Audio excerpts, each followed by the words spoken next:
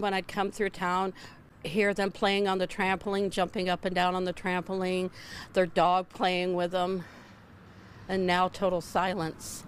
A small town in shock. That's after a woman and three children found dead in a Noble County home.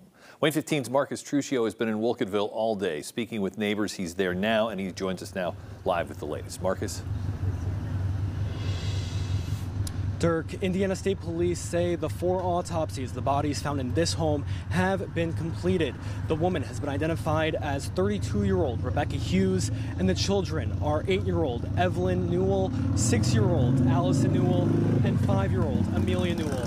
This all started yesterday morning when the Wolcottville police were asked to do a welfare check at this home on South Main Street, right near the center of town.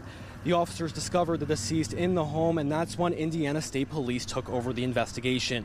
Wolcottville is a small town. All day, as drivers pass by, they turn to look at the house because they heard what had happened. And a small memorial is growing on the steps of the home with flowers, candles, stuffed animals, balloons, and a sign that says, Rest in peace, sweet angels. Pam Laughlin says she would see the girls at Bible school uh, where she was involved in town. My heart hurts for these kids. I'm getting older.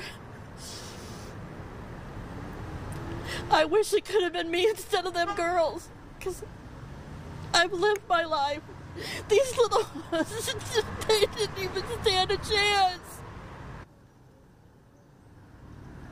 I've even spoken with strangers who have stopped by to drop off things on these stairs because they say they felt like they just had to do something. People have met for the first time at these stairs and exchanged hugs, and one particularly emotional moment that I keep on witnessing are small children stopping by, probably from the ages of 5 to 10, sharing their stuffed animals and leaving them on the steps here. Now, as we said, the Indiana State Police did say the autopsies are complete but we're still waiting to learn how the four people inside this home died. Live in Wolcottville, Marcus Trucchio, WANE 15 News.